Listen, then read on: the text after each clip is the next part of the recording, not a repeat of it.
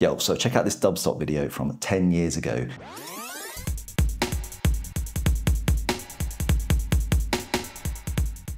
So I've been interested in finger drumming for about 10 years and I'll show you exactly how I know that in a minute. But you'd think by now I'd be pretty good at the art form, right? 10 years is a long time by anyone's standard. But unfortunately, I'm not. I'm still pretty bad. Well, luckily in the last few months I've started to make progress again, so what exactly has changed? So in this video, I'm going to talk about what's finally clicked for me. I'm going to talk about equipment, patterns, samples, some practice tips, and some of my favorite artists to check out at the moment. But first, let me show you how I know I've been into this for 10 years. Who's that? Si Hargreaves, 10 years ago. I want his drums. I swear none of my kits on machine sound like that. So yeah, guys, don't be like me and go 10 years without getting any better. Listen to this information in this video and let's go. So this is the bit of kit I was using 10 years ago. It is the Machine Mark 1 and I think it's probably the same one that that Justin Aswell guy was using. And so it's obviously a decent bit of kit. And when I play with it now, it doesn't actually feel too bad. But what I didn't like about it was setting it up was a real pain in the ass, unless you had it set up constantly, which I couldn't do at the time, because you have this MIDI controller, which goes to a laptop, which then goes to a sound card, which then goes to your speakers, and it's just a real pain in the bum. And there's lots of ways for that to go wrong. So what am I using now, which is really good? and it's no surprise that this bit of kit is good, but it's literally a game changer for me, at least. Yes, my MPC Live 2. This is like the best thing that I've bought in a while. Um, yeah, and I buy a lot of kit, and often I'm just quite disappointed with it. But this thing is literally, wow, so the main thing that I love about this is that it's so portable. I mean, it's got a speaker on the front and it's literally just like one unit. It almost feels like an instrument. Um, so the way I like to use it is I just have it like very nearby and when I'm on my living room sofa, I just pick it up and just start to finger drum essentially. And having that little tiny difference is huge because it's all about like re removing resistance. I just pick it up and I can go.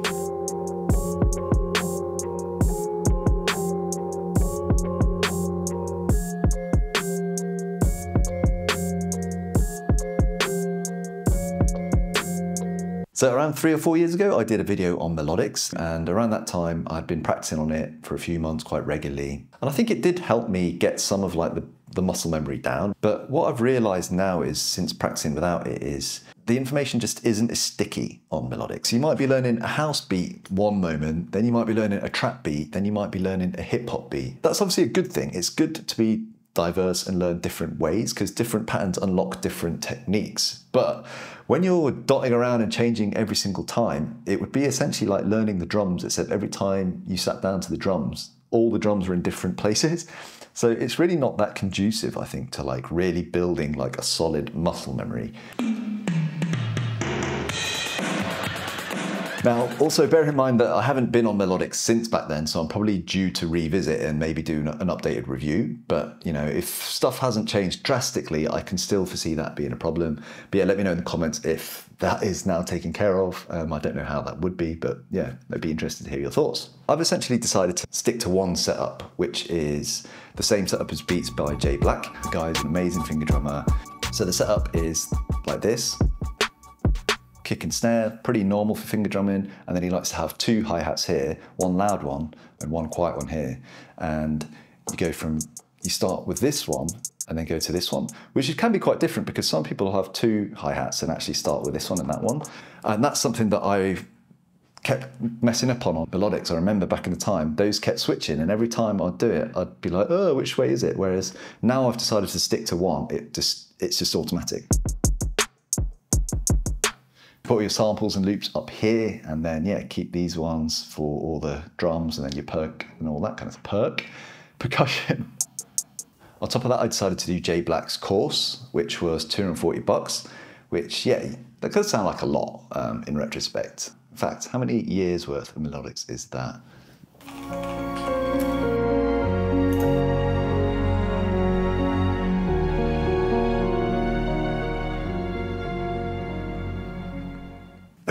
okay, so that's like three years worth of melodics, which in retrospect does sound like a lot, but I don't actually regret it because I got some questions answered by doing that course that I just didn't with melodics. The main thing being how to actually set up your pads, how to cut things up, put the levels right. There was a bit more on counting beats and bars with him, and then I learned some cool patterns like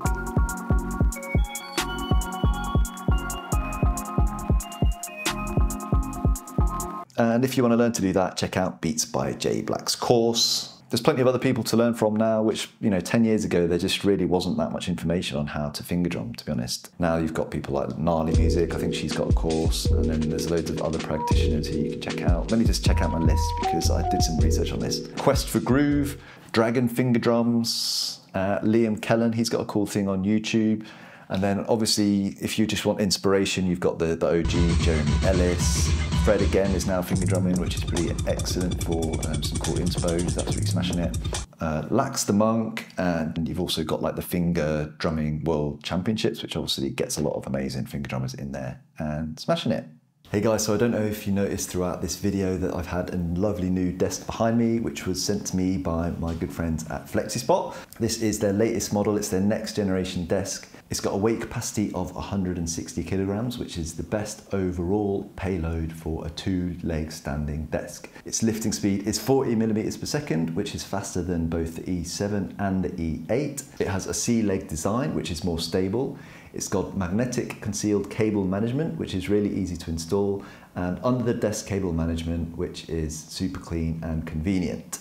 Now, I know that sounded really addy, but honestly, this is an amazing desk. When I put it together, I was actually amazed how beefy it was. I imagine if you're DJs and stuff like that, you you could probably do with something like this because we all know that you can get like the, the hunched over back. And yeah, it's just, um, wow, great desk. Thank you, FlexiSpot. Anyway, so let me show you my next favorite thing on the MPC Live, which doesn't seem like a big thing, but um, when you've dealt with audio issues going through an audio interface and feedback, delay, and all that kind of stuff, this is an amazing feature. So let me show you what I'm talking about. Just go to sampler and then where this says off, turn that to in, and that allows you to hear your in.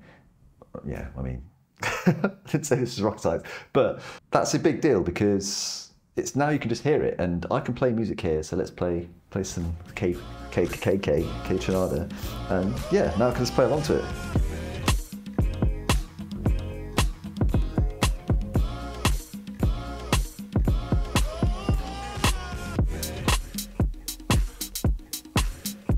So that's it. It's a simple trick, but like that's actually really hard to do sometimes when you've got only one audio interface and you're trying to play music from the computer and everything. It's just it just simplifies all that stuff and it's just like great. You can play all your favorite songs and drum along to them. Yeah, learn all sorts of crazy patterns that way. Hope that makes sense and it's not too simple, but it's something that's really I found useful. Okay, so the final thing I want to talk about is finding samples. Let's go back 10 years and what was I doing back then? You know, I was sampling from like vinyl, obviously, um, obvious place to go, but that's not the easiest. Uh, YouTube, and I guess to put this in perspective, 10 years ago was when Splice just started.